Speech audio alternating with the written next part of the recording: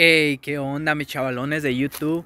en esta ocasión, hoy 28 de enero del 2022, les estaré hablando sobre lo que pienso de las censuras en el Internet. Pues más que nada, yo las censuras en el Internet, de verdad que no les tuviera una respuesta con pruebas, pero sí con muchas como tipo teorías. Yo las censuras de YouTube las he visto, bueno, primeramente obviamente en como, no sé, como comentarios como ofensivos y así, pero también cuando se trata de hablar sobre cosas por decir, digamos, yo personalmente practico la urinoterapia, no fab, todas esas cosas. Y hay veces que el material de eso, no sé por qué, lo, quitan, lo tumban de YouTube. Y muchos dicen que supuestamente los científicos y eso, que porque son como teorías o como cosas sin fundamento que no tienen pruebas y que pueden, no sé, pueden hacerle daño a las personas que sí lo creen. Y bueno, pues diría yo, ¿cuál daño? O sea, me refiero a que eh, las personas ya son de se supone que debe de haber libertad en YouTube y en todas las redes sociales.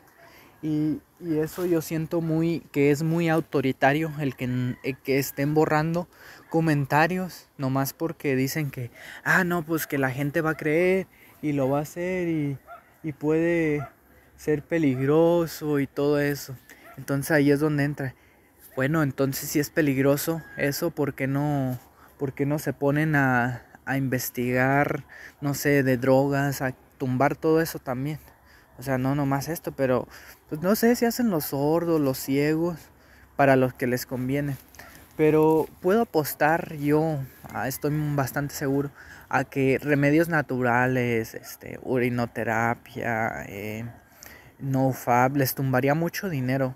Porque las personas normalmente, yo siento que los doctores nos, nos quieren tener como acostumbrados a las medicinas, pastillero y o sea, ellos nomás no atacan el problema principal, ellos atacan, ellos no quieren que nos sentamos bien por un momento, pero después otra vez caigamos y otra vez vayamos y estemos yendo otra vez, otra vez, otra vez. Ese es el negocio, hermanos, el negocio es muy ahí influye mucho, ¿no? La política también de verdad que influye mucho y es que no hay nada que, más pensar o que nos den una explicación razonable, pero pues no creo la verdad que, que, lo hagan, de verdad que es muy, muy bastante estúpido lo, lo que hacen de solo este justificarse con eso, ¿no? De que ah, no, pues puede hacerle daño a las personas, la gente se lo cree y hacer estupideces.